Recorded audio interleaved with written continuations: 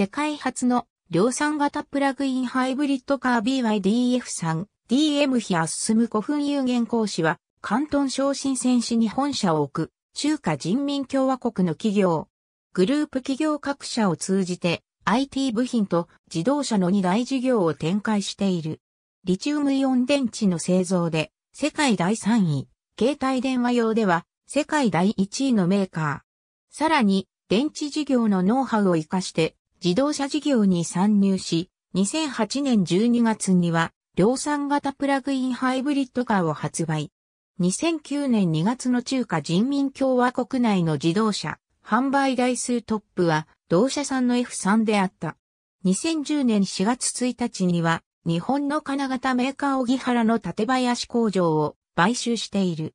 2020年4月23日には日本の日野自動車と商用 EV の開発を中心とした戦略的パートナーシップ契約を締結を行った。創業者で現会長の大田福は2009年度版の古純百富豪の評価では総資産350億元と中国一の資産家。世界最大の投資持ち株会社であるバークシャーハサウェイの会長兼 CEO のウォーレン・バフェットはミドメリカンエネルギー社を通じて出資している支援者である。